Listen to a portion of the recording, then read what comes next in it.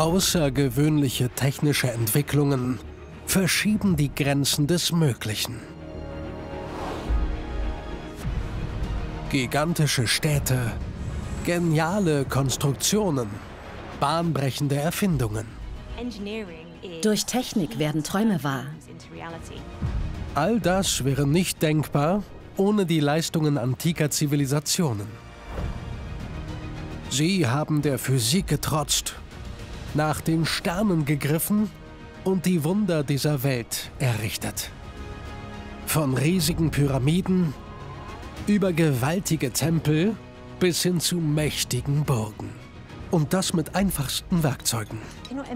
Sie müssen unglaubliche Fähigkeiten gehabt haben. Ihre Erfindungen sind das Fundament unserer modernen Welt.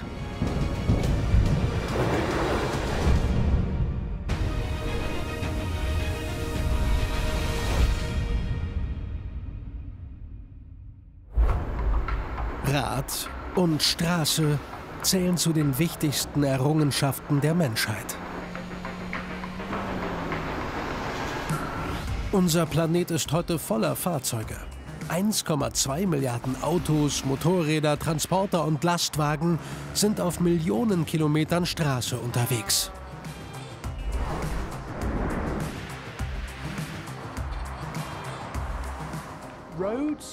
Straßen versetzten Menschen in die Lage, Waren und Güter über weite Strecken zu transportieren. Sie führen durch Eiswüsten und Dschungel, über Gebirgspässe und durch tiefe Schluchten. Straßen haben unsere Gesellschaft geformt. Es ist ein langer Weg bis zu unserem heutigen Verkehrsnetz. Erste befestigte Straßen entstehen bereits im 4. Jahrtausend vor Christus.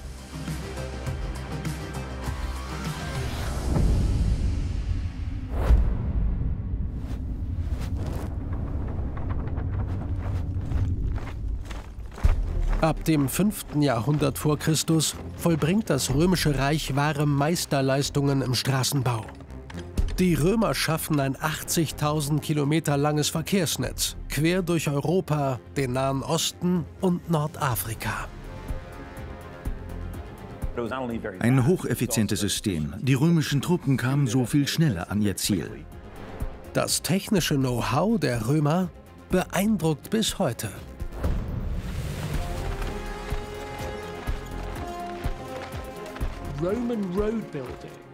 Die alten Römerstraßen waren Kommunikationsadern und sie hatten viele Jahrhunderte lang Bestand. Sie beeinflussen Generationen von Architekten und Ingenieuren. Ihre Erkenntnisse über Bautechnik und die Statik von Gebäuden sind bis heute wichtig für uns. Sie haben den Grundstein für die heutige Infrastruktur gelegt. Die Römer perfektionieren den Bau von Straßen, Brücken und Tunneln. Ohne Straßen hätte es kein römisches Reich gegeben. Die Geschichte des Straßen- und Wegebaus beginnt schon vor der Zeit des antiken Roms. Mit den Anfängen unserer Zivilisation.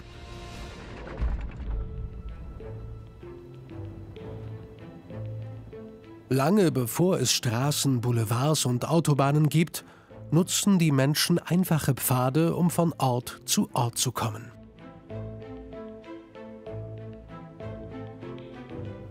Dabei sind immer wieder natürliche Hindernisse im Weg. Sümpfe, Moore und andere gefährliche Landschaften. Menschen wollen immer dadurch, wo sie besser nicht durch sollten. Wie haben unsere Vorfahren dieses Problem gelöst? Die Avalon Marshes in Somerset im Südwesten Englands. Über Jahrhunderte wird hier Torf als Brennstoff abgebaut. Lange ahnt niemand, welches 6000 Jahre alte Geheimnis sich in den Sümpfen verbirgt. 1970 entdeckt ein Torfstecher die Überreste einer rätselhaften Holzkonstruktion. Die Datierung der Baumringe ergibt das Jahr 3806 vor Christus. Die dendrochronologische Methode oder Baumringdatierung verrät viel über den Winter, in dem der Baum gefällt wurde. Durch die konservierende Wirkung des Torfs ist das Holz erhalten geblieben. Verwesung und Zersetzung sind abhängig von Sauerstoff, und der ist hier knapp. Das macht Sumpfgebiete zu archäologischen Schatzkammern.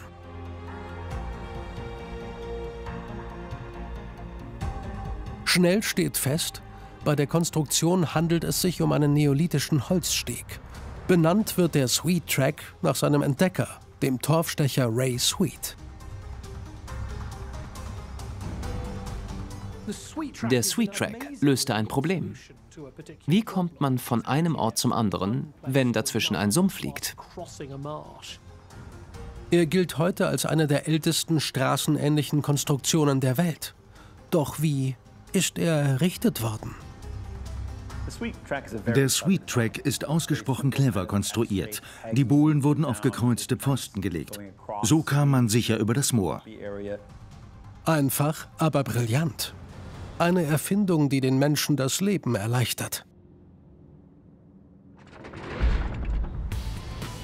Seit Beginn der Industrialisierung befindet sich die Erde im Wandel.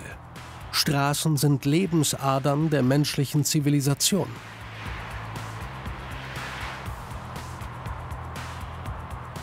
Die Vorläufer unserer modernen Verkehrswege finden sich nicht nur in Europa.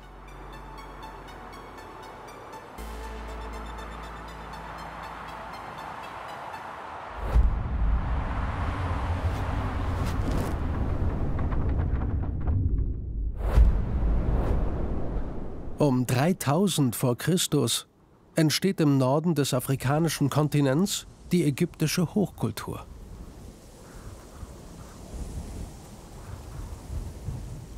Eine besondere Rolle spielt dabei der Nil. Er macht das Land fruchtbar und wird zur wichtigen Verkehrsader. Wie kaum eine andere frühe Hochkultur ist das alte Ägypten reich an Erfindungen und Errungenschaften in Kunst, Wissenschaft, Technik und Religion.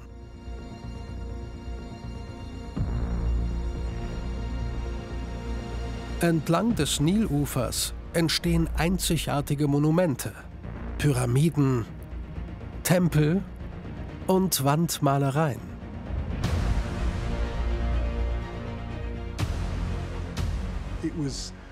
Der Nil war eine Art Superhighway. Er spendete Ägypten Leben. Er verband fast alle besiedelten Gebiete in Ägypten. Der Fluss dient als wichtigste Handelsstraße für eine Vielzahl von Gütern. Schiffe transportierten Lebensmittel und Trinkwasser, aber auch Baumaterial wie Steine. Es gab sogar Fährschiffe. Obwohl der Nil den wichtigsten Verkehrsweg bildet, sorgen die alten Ägypter für einen Durchbruch im Straßenbau. 1994 machen Geologen 70 Kilometer südwestlich von Kairo eine sensationelle Entdeckung.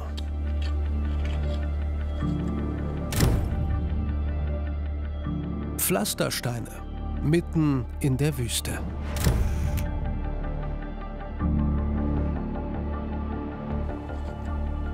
Nähere Untersuchungen zeigen, es handelt sich um eine 12 Kilometer lange gepflasterte Straße.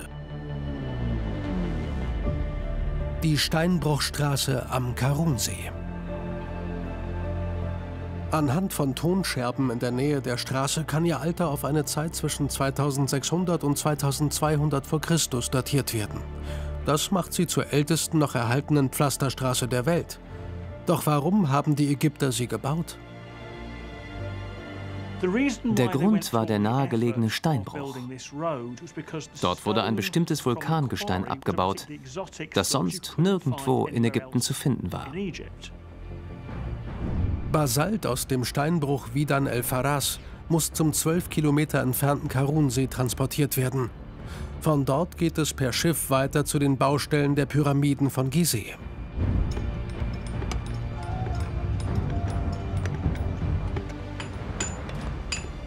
Eine spannende Entdeckung. Sie hilft uns zu verstehen, wie die Pyramiden in Gizeh gebaut wurden. Die Wüste holt sich zurück, was der Mensch ihr abgerungen hat. Heute endet die Steinbruchstraße im Nichts. Für die alten Ägypter war die Errichtung der Straße eine Herausforderung. Straßenbau in der Wüste stellt auch moderne Ingenieure vor Probleme.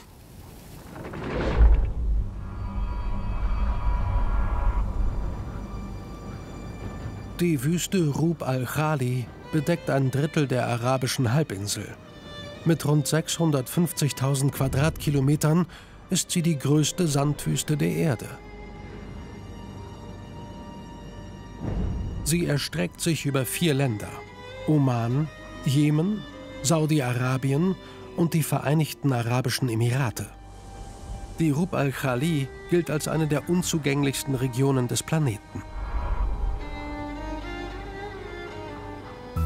Doch ein ambitioniertes Bauprojekt schafft eine direkte Verbindung zwischen dem Oman und Saudi-Arabien.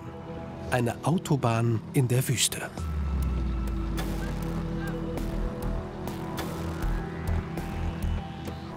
Am Tag ist es über 50 Grad heiß, nachts nur knapp über Null. Sie bauen auf Sand. Und einige dieser Dünen sind bis zu 80 Meter hoch. Man arbeitet also permanent auf beweglichem Untergrund. Insgesamt werden 130 Millionen Kubikmeter Sand abgetragen. Hunderte Arbeiter sind am Bau der Straße beteiligt, die die Fahrstrecke zwischen Saudi-Arabien und dem Oman um gut 800 Kilometer verkürzt.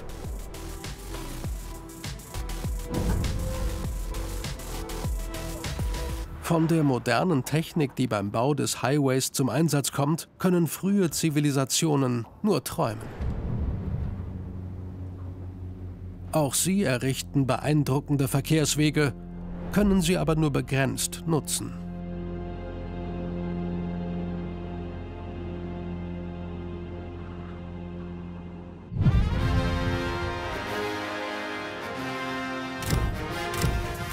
Das ändert sich mit der Erfindung einer so einfachen wie genialen Konstruktion, dem Rad. Es ist der Schlüssel zur Entwicklung von Karren, Kutschen und Streitwagen. Es dient der Energiegewinnung und der Zeitmessung. Ermöglicht Weltrekorde und sichere Landungen. Es macht unsere Freizeit aufregender. Sorgt für Mobilität und hilft uns sogar beim Erforschen fremder Planeten. Doch wann genau ist das Rad erfunden worden? Und von wem?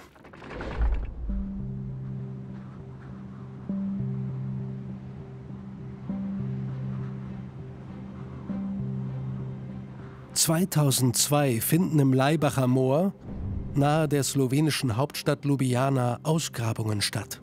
Dabei gelingt Archäologen eine Entdeckung. Ein Rad aus Eschenholz mit einer Achse aus Eiche. Die Wissenschaftler vermuten, das Holzrad könnte deutlich älter sein als die bisherigen Rekordhalter. Tatsächlich ist es über 5000 Jahre alt und damit bislang das älteste Rad der Welt. Die Erfindung des Rades ist ein Meilenstein der Geschichte, der die Entwicklung der Menschen beeinflusst hat. Vor allem beim Transport von Waren ist das Rad eine enorme Erleichterung. Am Anfang stehen einfache Karren mit nur einer Achse. Mit ihnen konnte man Lasten mühelos transportieren und musste sie nicht mehr in Körben auf dem Rücken tragen. Die Erfindung des Rades ändert alles. Aus einfachen Karren werden von Pferden oder Ochsen gezogene Fuhrwerke, die Güter und Personen über immer weitere Strecken befördern. Ein Quantensprung des Transportwesens ohne den unsere moderne Welt nicht vorstellbar ist.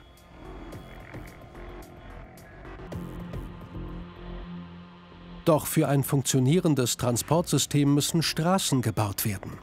Die Paradedisziplin der antiken Römer. Auch wenn sie die Straßen nicht erfinden, bauen sie doch ihr Imperium darauf auf.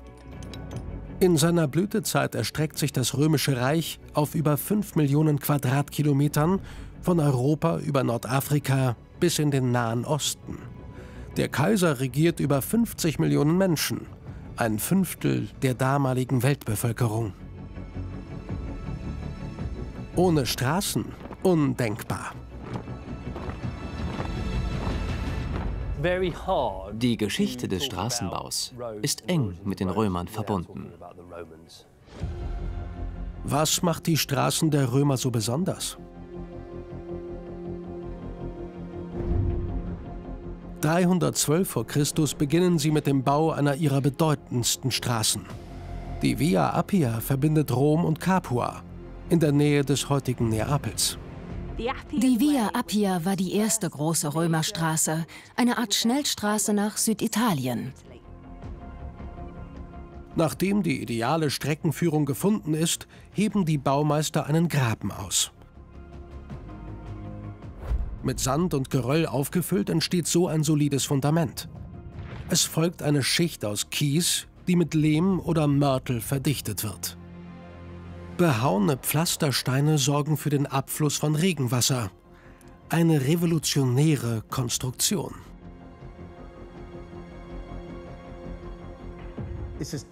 Das war ausgesprochen fortschrittlich. Vieles findet sich auch bei modernen Straßen. Entwässerungssystem, undurchlässige Schichten, Schotter und Pflastersteine. Die Via Appia verbindet Rom mit den Siedlungen und Häfen im Süden Italiens. Sie wird zur Lebensader des Imperiums. Und das ist erst der Anfang. »40.000 Legionäre, die auf einer Straße marschieren. Das war beeindruckend.« Gebaut werden die Straßen vor allem von Soldaten. Die römischen Truppen waren vielseitig aufgestellt. Es gab Landvermesser, Ingenieure und Bauarbeiter. Das dichte Verkehrsnetz begünstigt die Ausdehnung des Imperiums. Nachdem sie ganz Italien erobert hatten, expandierten sie weiter und unterwarfen ein Nachbarland nach dem anderen. Zwischen 200 vor und 14 nach Christus erobern die Römer fast ganz Westeuropa, Griechenland, den Balkan, den Nahen Osten und Nordafrika. Gepflasterte Straßen durchziehen das Reich. Alle Wege führen nach Rom. Für das römische Straßennetz traf das tatsächlich zu. Über dieses gewaltige Netz kommen die Truppen schnell an ihren Bestimmungsort so abgelegen er auch sein mag. Man kam in wenigen Wochen von Rom nach Britannien. Für damalige Verhältnisse war das extrem schnell. Der Handel blüht auf, die Bevölkerung profitiert. Je besser das Verkehrsnetz, desto mehr Waren konnten über weite Strecken transportiert werden. Die Wirtschaft florierte und führte zu Wohlstand. Die Römer bauen selbst auf unwegsamsten Gelände. Terrain, das noch heute eine Herausforderung ist.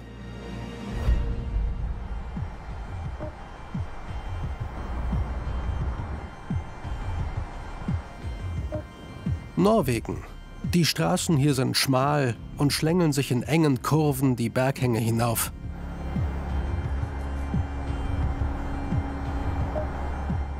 Mitte der 1990er Jahre wird mit dem Bau eines Tunnels begonnen, der die Städte Bergen und Oslo verbindet.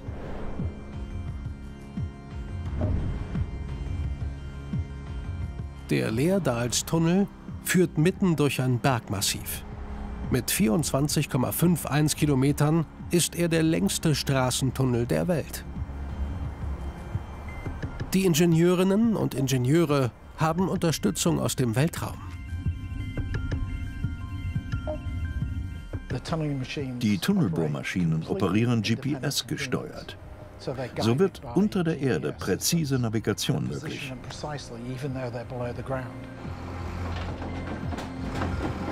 Fast drei Millionen Kubikmeter Gestein werden ausgehoben. Aber lässt sich verhindern, dass Autofahrer bei der etwa 20-minütigen Fahrt im Tunnel einschlafen?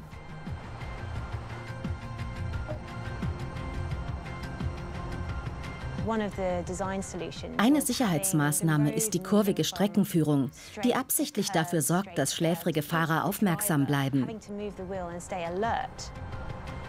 Hinzu kommt ein besonderes Beleuchtungskonzept. Der Tunnel ist in vier Zonen unterteilt, die durch verschiedenfarbig ausgeleuchtete Hallen getrennt werden.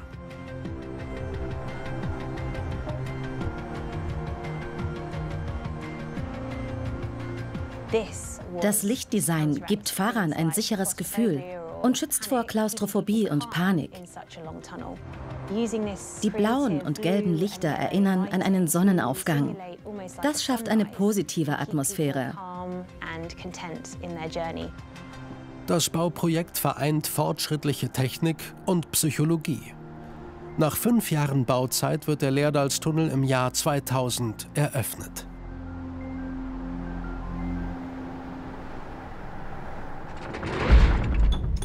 Tunnel, die durch Berge führen, sind für antike Zivilisationen noch überwiegend Zukunftsmusik. Die Römer bauen ihre Straßen zwar so gerade wie möglich, doch an steilen Hängen müssen sie die Richtung ändern. Und Berge sind nicht die einzige Herausforderung.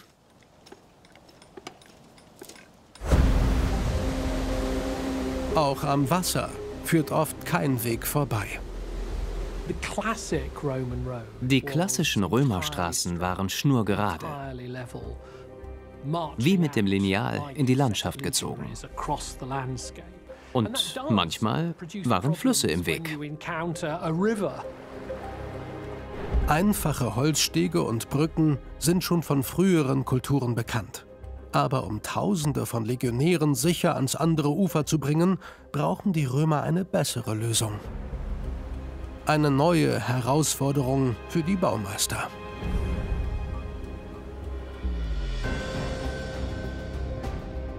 Um stabile Steinbrücken errichten zu können, bedarf es einer besonderen Technik.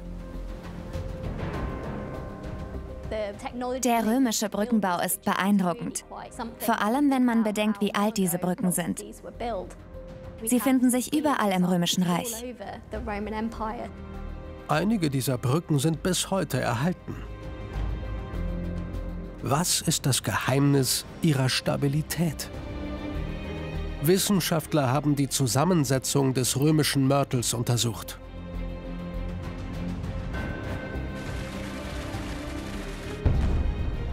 Er besteht aus Vulkanasche, Kalk, Wasser und Tuffstein.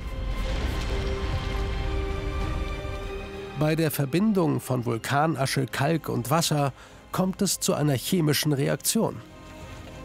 Das Resultat ist ein Beton, der besonders haltbar und stabil ist. Römischer Beton konnte sogar unter Wasser aushärten. Das machte ihn so besonders. Viele Konstruktionen verdanken diesem Baustoff ihre Standfestigkeit so auch die Bauwerke des Architekten Marcus Vitruvius, genannt Vitruv. Vitruv war einer der klassischen Baumeister der Antike und Verfasser der zehn Bücher über Architektur.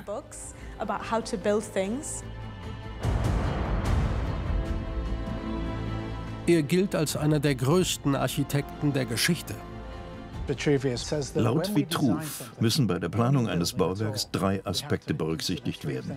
Festigkeit, Nützlichkeit und Schönheit. Der wasserdichte Beton ermöglicht ein solides Fundament. Aber wie schaffen es Vitruv und andere Baumeister, gewölbte Brücken zu errichten, die dem Gewicht ganzer Legionen standhalten?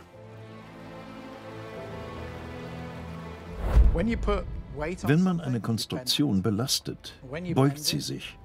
Dabei wird Druck auf die Oberfläche ausgeübt. Gleichzeitig steht die Unterseite unter Spannung und Spannung lässt die Brücke einstürzen. Die Römer nutzen eine ältere Erfindung. Sie entwickelten den Rundbogen für den Brückenbau weiter. Gemauerte Bogenbrücken sind so konstruiert, dass sie ständig unter Druck stehen. So eine Bogenform hält ungeheuren Belastungen stand. In den römischen Jahrhunderten entstehen gewaltige Bauwerke. Der Bogenbau ermöglichte immer größere Konstruktionen, nicht nur bei Brücken und Aquädukten. Auch andere Bauwerke wurden auf diese Weise errichtet, zum Beispiel Amphitheater und sogar das Kolosseum in Rom. Von ihren antiken Vorgängern inspiriert, treiben moderne Ingenieure die Entwicklung weiter voran.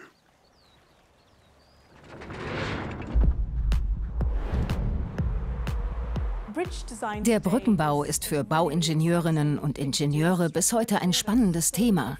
Es gibt so viele verschiedene Materialien und Formen. Meine Lieblingsbrücke ist die Golden Gate Bridge in San Francisco. Die Golden Gate Bridge wird 1937 für den Verkehr freigegeben und hat eine Spannweite von gut 1,3 Kilometern. Ursprünglich soll sie schwarz-gelb gestrichen werden, um die Sichtbarkeit zu erhöhen. Doch der rote Rostschutzanstrich gefällt dem Chefingenieur so gut, dass er es dabei belässt. Fast drei Jahrzehnte lang ist die Golden Gate Bridge die längste Hängebrücke der Welt.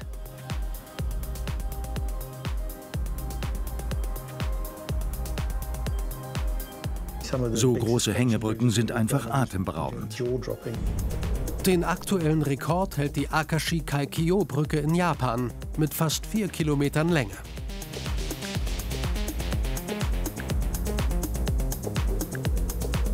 Sie soll Erdbeben und Taifunen standhalten.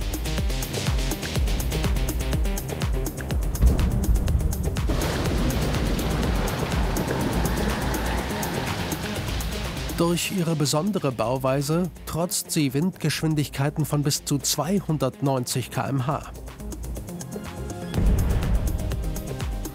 Die höchste Brücke Europas steht in Südfrankreich.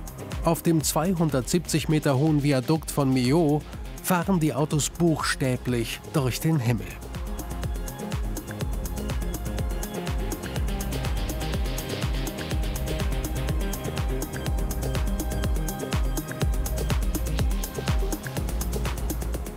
Doch nicht alle modernen Konstruktionen sind ein Erfolg.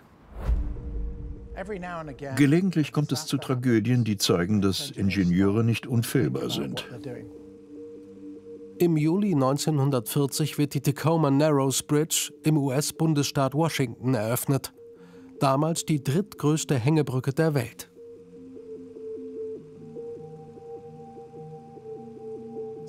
Der Bau der Tacoma Narrows Bridge fiel in eine Zeit, in der Brückenkonstrukteure an die Grenzen des Möglichen gingen und Hängebrücken waren in Mode.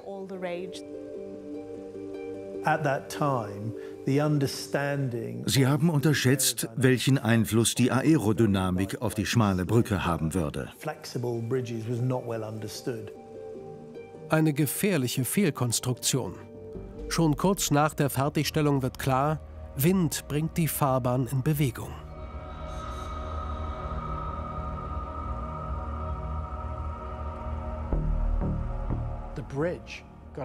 Die Brücke war extrem windempfindlich. Fing sie an zu schwingen, schaukelte sie sich immer weiter auf, als würde sie tanzen. Die tanzende Brücke wird zum Touristenmagnet.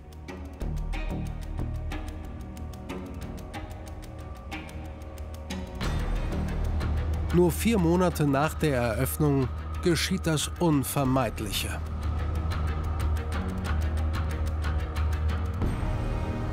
Sie schaukelte so sehr, dass sie einstürzte. Unvorstellbar, dass es sich um eine Betonbrücke handelte. Das sah aus, als wäre sie aus Papier.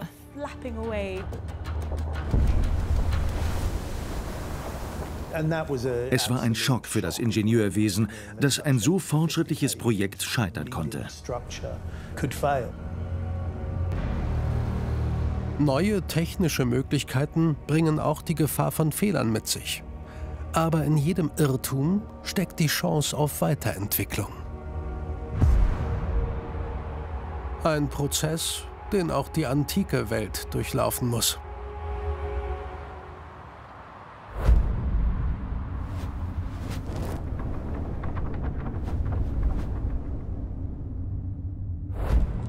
Die ersten Räder sind massive Holzscheiben.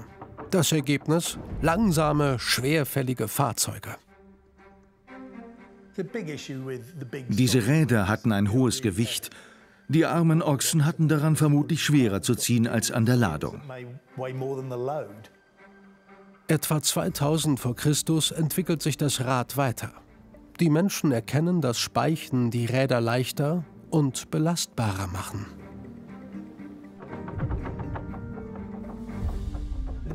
Durch die Speichen wurde das Gewicht verringert. Die neuen Räder ermöglichen den Bau schnellerer und leichterer Fahrzeuge wie von Pferden gezogene Streitwagen.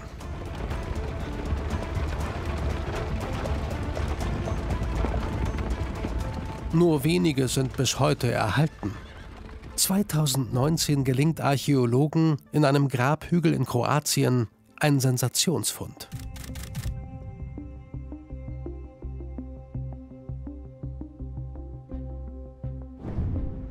Vor 2000 Jahren liegt hier die römische Provinz Pannonien. Aus dieser Zeit stammt der gut erhaltene zweirädrige Streitwagen, auf den die Wissenschaftlerinnen und Wissenschaftler hier stoßen.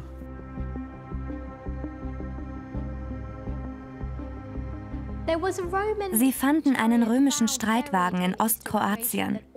Außerdem menschliche Überreste und Pferdeknochen. Der Fund zeigt, wie fortschrittlich römische Fahrzeuge sind. Der Streitwagen hatte eine wichtige Funktion. Mit ihm erreichte man in kurzer Zeit auch weit entfernte Ziele. Außerdem war er ein Statussymbol. Man stand buchstäblich über den Menschen. Mit einem Streitwagen begraben zu werden, zeigte, wie wichtig man zu Lebzeiten war. Doch Streitwagen sind keine bloßen Statussymbole. Auch für Wagenrennen sind sie unverzichtbar. Kein römisches Spektakel ohne Streitwagen. Der Circus Maximus in Rom ist der größte Veranstaltungsort der Antike. Eine Arena der Superlative. Bereits im 6. Jahrhundert vor Christus finden hier Wagenrennen statt. 46 vor Christus lässt Julius Caesar den Circus Maximus ausbauen.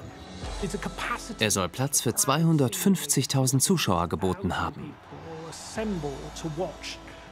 Die Gespanne erreichten hohe Geschwindigkeiten. Das war gefährlich.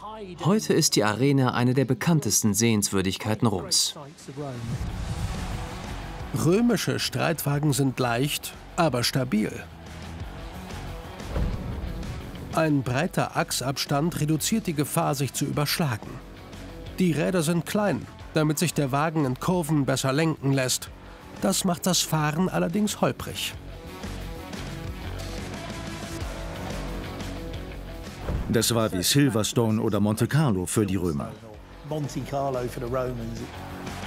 Tatsächlich gibt es Parallelen zwischen antiken Wagenlenkern und heutigen Rennfahrern. Beide treten in den leichtesten und schnellsten Fahrzeugen ihrer Zeit an. Formel-1-Boliden erreichen dabei Geschwindigkeiten von über 300 Stundenkilometern.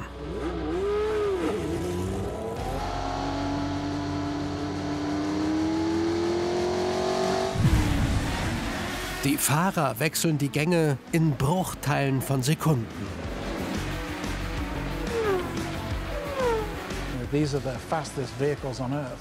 Moderne Rennwagen aus ultraleichtem Material haben eine hervorragende Aerodynamik und hohen Anpressdruck. Das sorgt für eine bessere Bodenhaftung. Beim heutigen Motorsport denkt man an hohe Geschwindigkeiten und hohes Risiko. Doch auch die Wagenrennen der Antike sind purer Nervenkitzel. Meist laufen sie über sieben Runden, insgesamt acht Kilometer. Unfälle sind an der Tagesordnung. Römische Wagenlenker lebten gefährlich und wurden meistens nicht alt. Fast 1000 Jahre nach seiner Eröffnung findet 549 nach Christus das letzte Wagenrennen im Circus Maximus statt. Zu diesem Zeitpunkt steht das römische Reich vor dem Ende. Immer mehr Provinzen lösen sich ab. Wird dem Imperium seine Größe zum Verhängnis?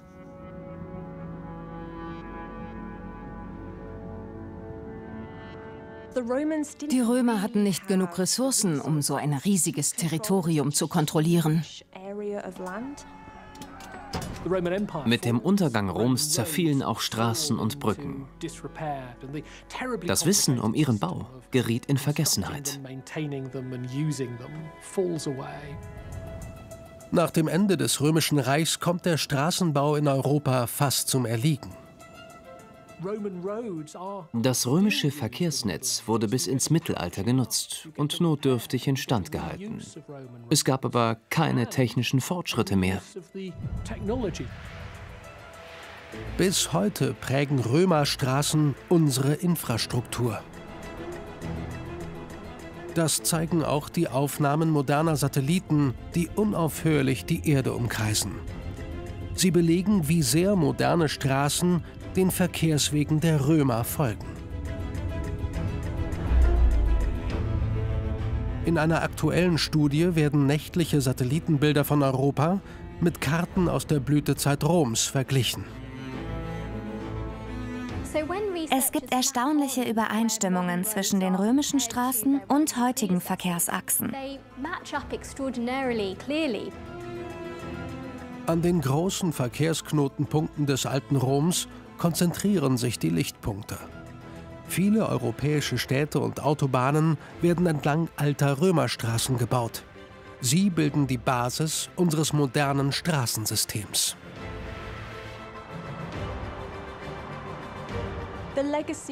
Die Spuren der römischen Weltmacht sind bis heute erkennbar. Wir bewegen uns noch immer auf ihren Straßen und leben in Städten, die von den Römern gegründet oder besetzt wurden. Viele der antiken Pflasterstraßen überdauern bis ins 18. Jahrhundert. Erst danach steigt die Nachfrage nach einem leistungsfähigeren Straßennetz. Die Straßen mussten breiter werden, weil immer mehr Fahrzeuge unterwegs waren. Damit begann eine neue Ära des Straßenbaus.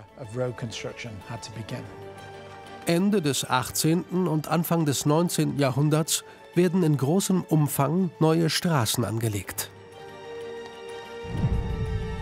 Als Vater der modernen Straße gilt der Schotte John McAdam. Er erfindet einen Straßenbelag aus verdichteten Schotterschichten damit müssen Straßen nicht mehr mit teuren Steinplatten gebaut werden. McAdam war der Meinung, dass diese riesigen Pflastersteine nicht nötig sind. Römische Straßen waren bis zu anderthalb Meter dick, seine nur 60 Zentimeter. Die sogenannten Makadam-Straßen sind nicht nur billiger, sondern auch langlebiger. Die Technik setzt sich durch. Bis Ende des 19. Jahrhunderts werden die meisten europäischen Hauptstraßen makadamisiert. Das Timing ist perfekt, denn schon bald darauf verändert eine neue Erfindung die Welt und ihre Mobilität. Bis heute ist sie ein Symbol für Freiheit und Wohlstand.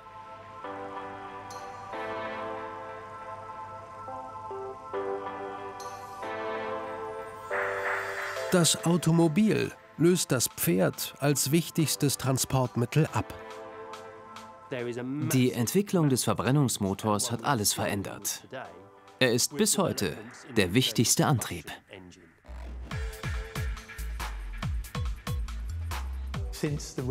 Seit den Römern hatte sich die Reisegeschwindigkeit auf der Straße nicht verändert. Man konnte laufen, reiten oder Kutsche fahren. Dann kam das Auto und mit ihm ein Geschwindigkeitsrekord nach dem nächsten.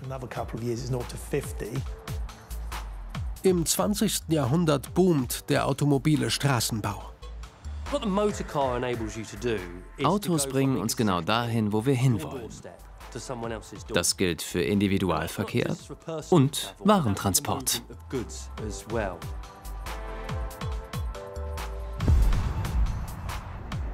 Kraftfahrzeuge machen das Leben leichter, doch der Preis ist hoch.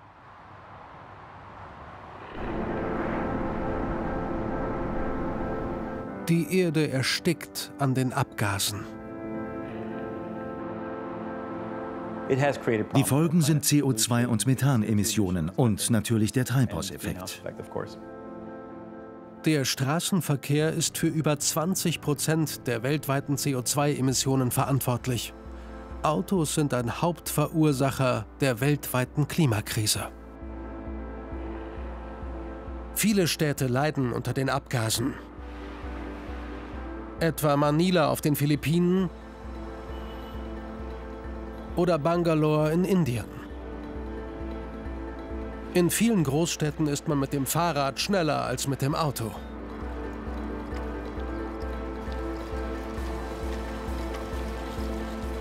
Klima- und Umweltschutz sind die neuen großen Herausforderungen der Technik. Ein weiteres Mal müssen wir das Rad und die Straße neu erfinden. Eine Zukunftsvision? Selbstfahrende Elektroautos, die die effizienteste Route wählen und von der Straße mit Energie versorgt werden. Die Idee? Solarstraßen erzeugen Strom aus Sonnenlicht und geben ihn dann während der Fahrt an Elektroautos ab. Das Problem überfüllter Straßen wird das allein aber nicht lösen. Wir müssen herausfinden, wie wir auch in Zukunft reisen, handeln und kommunizieren können, ohne dabei die Erde aufs Spiel zu setzen.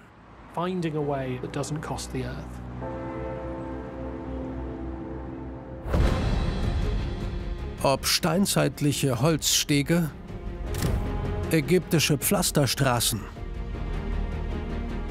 das Verkehrsnetz der Römer oder moderne Autobahnen. Straßenbau ist ein wichtiger Teil der Menschheitsgeschichte. Im Laufe der Jahrtausende haben wir die Grenzen des Machbaren immer wieder verschoben.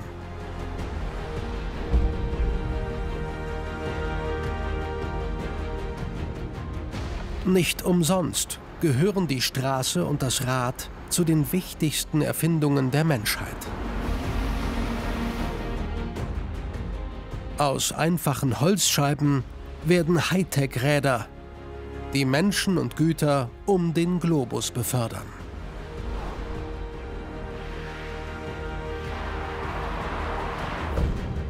Mit Erfindergeist und Einfallsreichtum lässt sich vieles überwinden. Unsere Vorfahren haben den Grundstein gelegt. Gefordert sind jetzt wir.